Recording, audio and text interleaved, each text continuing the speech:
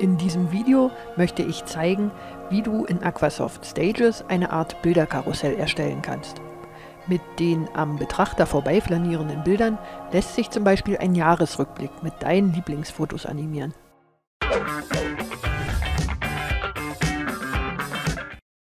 So sieht unser Projekt am Ende in der Timeline aus.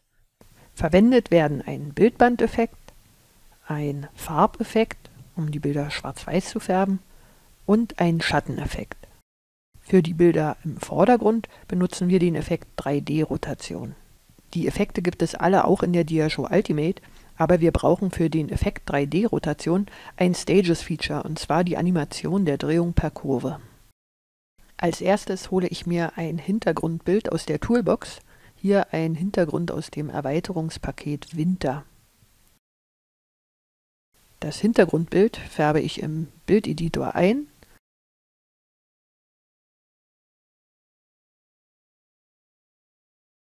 und packe es in ein Kapitelobjekt. Dann kommt auch schon das erste Bild. Es soll keine Einblendung haben. Und das Bild kommt dann in den Effekt 3D Rotation.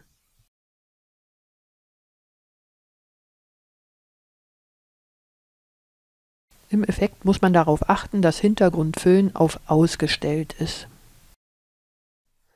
Den Rotationseffekt verkleinere ich etwas an seinem Auswahlrahmen.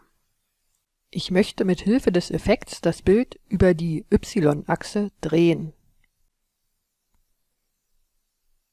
Dabei soll das Bild aber von links hereinkommen und nach rechts ausdrehen.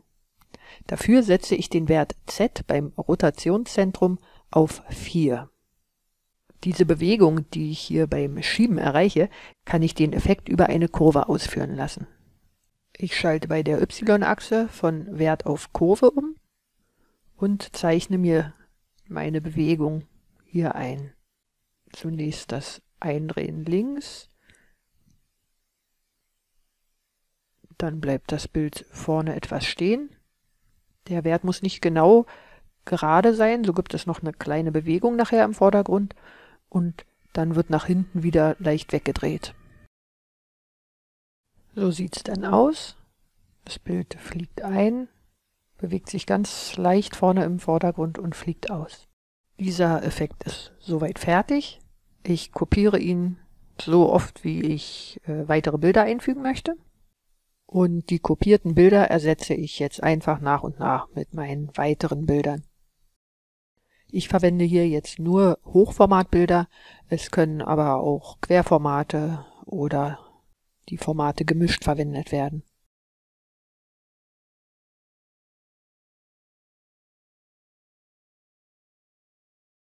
Jetzt geht es an die Animation im Hintergrund. Dafür hole ich mir den Bildbandeffekt aus der Toolbox. In den Bildbandeffekt kommen alle meine Bilder in der Reihenfolge, wie ich sie auch unten als 3D-Rotation angeordnet habe. Achte darauf, dass alle Bilder Hintergrundfüllen aus besitzen und keine Einblendung. Ich markiere den Bildbandeffekt und verkleinere diesen am Auswahlrahmen.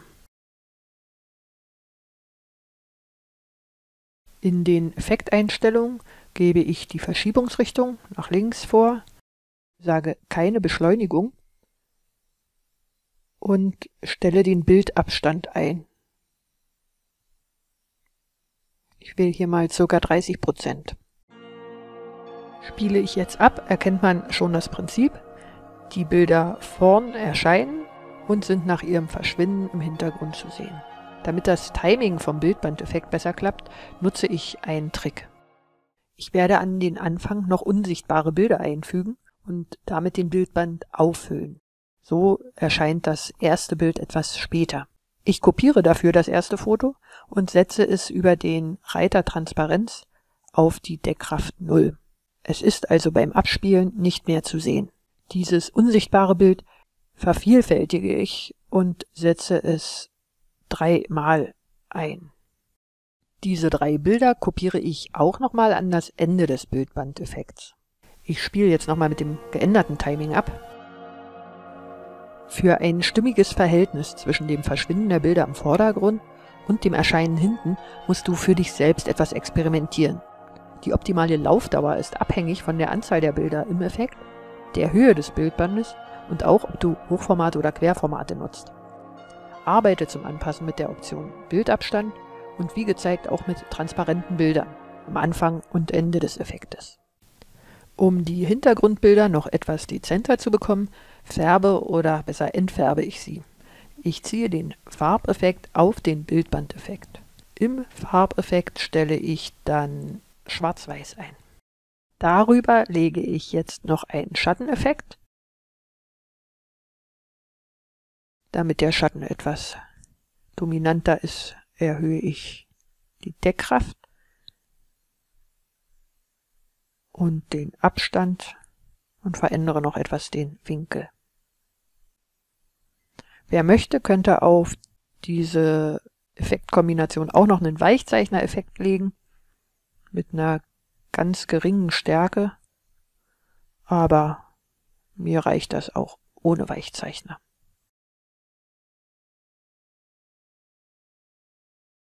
Noch kurz zum Abschluss dieses Effekts. Äh, am Ende, wenn nur noch die Hintergrundbilder laufen, könnte man prima ein bisschen Text einblenden und diesen gesamten Effekt dann auch wieder ausblenden in unser Startbild, in unseren farbigen Hintergrund. Das idealerweise mit Alpha-Blending. Deiner Fantasie sind da wie immer keine Grenzen gesetzt. Vielleicht ergänzt du auch noch ein paar Partikel.